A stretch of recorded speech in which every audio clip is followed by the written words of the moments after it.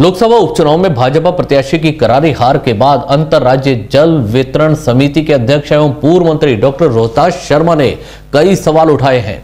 उन्होंने हार का बड़ा कारण विधायकों की दादागिरी और घमंड को बताया। साथ ही यह भी कहा कि जिला मुख्यालय वाले विधानसभा क्षेत्र अलवर शहर के जन विरोधी माहौल से पूरे संसदीय क्षेत्र पर असर पड़ा है। अलवर में पत्रकारों से बातचीत में डॉक्टर रोहितास शर्मा ने कहा कि उपचुनाव ने खासकर उन विधायकों को बड़ा झटका दिया है, जो जनता के सुख दुख से दूर हो गए थे। ने नहीं और उनके बड़ा बड़बोला बड़बोलापन के कारण ये सब बहुत रहे, चाहे बोल गए इन्हीं कारणों के चलते लोकसभा उपचुनाव में पार्टी के खिलाफ जनता ने वोट किया है। लेकिन यह कांग्रेस के नेताओं के लिए खुश होने वाला परिणाम नहीं है। जनता ने भाजपा पार्टी के नेताओं को झटका देकर चेताया है, जिससे वे समय रहते संभल जाएँ। आम जन का विश्वास आज भी भाजपा में है।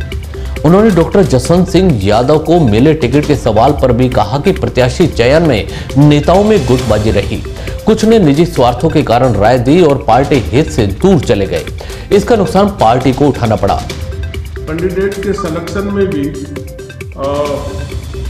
यहाँ ये देखने को मिला है कैंडिडेट के सिलेक्शन में गुटबाजी उभर कर आई और स्पष्टतः अच्छे कैंडिडेट के बारे में कम राय दी गई। निजी स्वार्थ के वसूभूत होकर हमने जो राय दी वो राय पार्टी के हित की राय नहीं थी, वो निजी स्वार्थों के हित पर राय थी।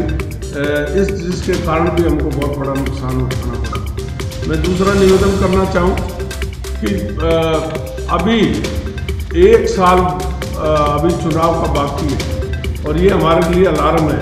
मैं आपको, मैं कांग्रेस वालों को इस बात की चुनौती देना चाहता हूँ कि इतना काम जो हमने किया, इतना कभी कभी भी कांग्रेस ने नहीं किया। उन्होंने आखिरी दिनों में जब वो 2013 का चुनाव से पहले कांग्रेस जब शासन में थी तो उन्होंने जम करके खजाने को लुटाया।